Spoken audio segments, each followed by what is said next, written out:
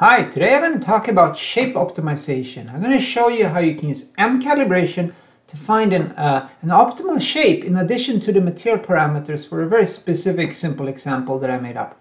So here is a 2D finite element model. It's a cube as you can see. And I'm shearing this sideways from the top surface. So the top is moved to the right, the bottom is held fixed. And what we see when we shear this is that the sides are not straight. This is something that happens, is well known when you do experimental tests in simple shear. The sides of the specimen doesn't stay straight at finite deformation. So what I thought I'll do here is to show you how you can use MCalibration to find what the initial sh shape should be. It can't be a cube here in order to get straight edges at the final position uh, in the sheared shapes. And the second objective is to also um, as part of this, decide what the modulus of this this material should be in order to reach a given force. So I'll specify the force I want this to take to shear it to 50% engineering strain.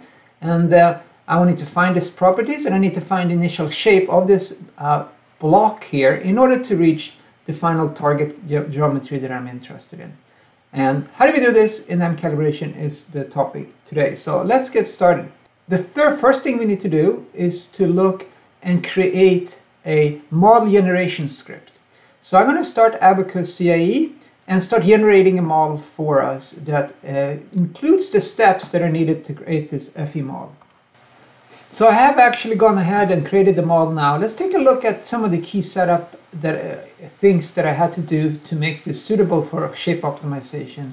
So you look at this uh, model as I have defined here, you see that the it's not a square anymore. It's, I have given it some kind of shape to the left and right side. So I basically went in and then when I defined the section for the edges that I want to optimize the shape of, I defined them not with straight lines, but with splines. So there is an option to create uh, through point splines, so cubic splines in Abaqus CAE. So I create one, two, three, four uh, control points on the left and four control points on the right. And the target here, the goal is to have MCalibration search for the positions of these control points on the left and right sides and then generate automatically the mesh, run the mesh, and then keep optimizing these control point positions until we get a given target shape and the final configuration.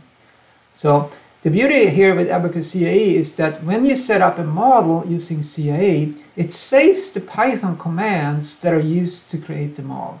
And I can, I can use that file as a template that I slightly modify to make it suitable for shape optimization. So let's take a look at the model generation script.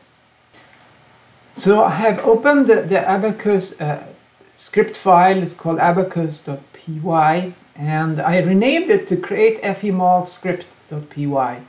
And I basically kept all the commands in here and I just made a few little changes to it. And the beauty here is that you don't need to memorize all these what these commands do, but just need to make some changes to make this suitable for what we're trying to do.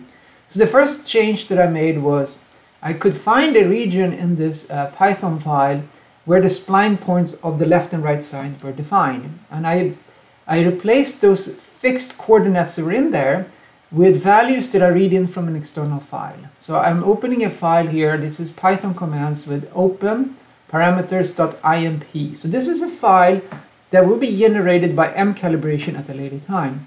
I then read in the contents of this file and assign those to these control points. So that's the first step.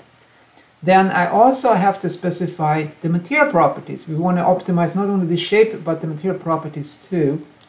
So I see here further down in this file that there is a command that creates a hyperelastic material model and I define the hyperelastic parameters mu and kappa which I also get from this external file. So that's what I do in this model generation script. I set up the model based on the control parameters that gets from an external file. The next thing I need to set up is the data extraction script. So let's take a look at that. So here is my uh, file. Uh, it's a Python file for extracting the data after a single finite element simulation has been run. So this is a little file that I, I wrote from scratch. It's really easy to write these uh, little files that basically read in the deformations of the sides and the reaction force on the top and saves that in a very specific format. So I'll just go through this file really quickly here. Um, when you read in uh, data from an Abaqus simulation, you start with from ODB access import star. It allows you to uh, use some functionality that comes with Abaqus. Then I just open the ODB file. I create node sets, or, or I read in the definition of the node sets because when I have these cubic splines defined on the sides of the specimens, I don't necessarily know which nodes are in each of these node sets. I need to actually find it because these are automatically meshed by CAE in each, for each configuration. So I read in the node sets using this command here. This says it reads in the node set for the top, for the left, and the right. And then I, I loop through all the nodes in those load steps and I save uh, I find the coordinates on the left and right, and then I can find how close those coordinates are to where I want them to be. I want this line to be straight uh, on the left side and the right side. So I compare that and I create an error between the actual position in the deformed configuration to where I want it to be, which is this straight line uh, in this case. And then I also read in all the reaction forces and I sum them up and I compare that to the target value, in this case of 10 newtons. Then I save that information into a single data file which contains uh, three data points. The first one is the error on the left side, error on the right side, and the error in the force. That's the second file that I need to create. The, the third and last step is to set up MCalibration to use these two script files. And uh, here's my MCalibration file uh, after I clicked run once.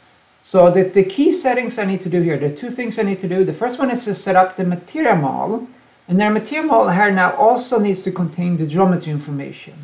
So let's see how I do that. I click on set material model and I have now a material model template. It's an Abaqus material model template that I created these variables first. So they are star star, uh, which means it's an Abaqus comment, comment, and then I have variables A1 through A4. So these would be positions, horizontal displacements of the control nodes on the left side. The B variables, B1 to 4, are the four control points on the right side. And the mu parameter is the shear modulus. So this is how MCalibration will communicate with Abaqus. It will create this file that will be read by the Python scripts that we talked about earlier. So this is the first thing. So if I save this, we'll see these are then the parameters that we'll search for the first eight are geometry specific parameters, and the ninth one is the material property. And we can combine them in any order we like. This is just what I did here. And then the second and last thing we need to set up is the load case. So in this case, we don't have traditional experimental data. We have data in a slightly different format. And we're using the general external solver option as the load case type. I need to read in my experimental data here. And the experimental data that I'm interested in is called target data. And this is the contents of this file. So it has these different error values uh, at these different positions. So left, right, and top reaction force. So that's what I have here. And then as the data generation uh, script, I use this file we just looked at, setup and run.py. And uh, MCalibration will generate this file called parameters.imp, uh, which contains the, the geometry and material properties, which is then read by setup and run uh, file. And our Python file for, for setting that up contains also, as I showed earlier, the data extraction commands. So I can let the data extraction uh, box here to be zero. I don't need to care about it, but I do need to say the name of that file. This script file creates this file, which is then read by MCalibration. So if I, that's it really. I can now run this and see what happens. And if I just click run once, where I have all A values to be zero, all B values to be zero, and mu equals to one, basically straight lines and the shear modulus of one, I get a very large error in NMAD fitness, and normalized mean absolute difference fitness of 70. But this is just the starting point, and that's what we showed earlier, how the material uh, shifts in a way that doesn't give you the target shape that we're after. Um, if I run this for a little bit, this is the final results that I get. We'll see that the error now is down to 10 instead of 70. It's significantly better. And here are the values that it searched found. So that on the left side, it shifts everything to the right. On the right side, it seems to shift them to the left, uh, as you can see by these numbers. And this is the shear modulus that gives you the, error, the smallest possible error in this case. So if you want to look at the results, let's open Abaqus and take a look at the final shape that gives us these values. All right, I just opened the Abaqus um, uh, viewer, Abaqus CAE, with the final geometry that the software uh, found to give the best shape in the deformed state.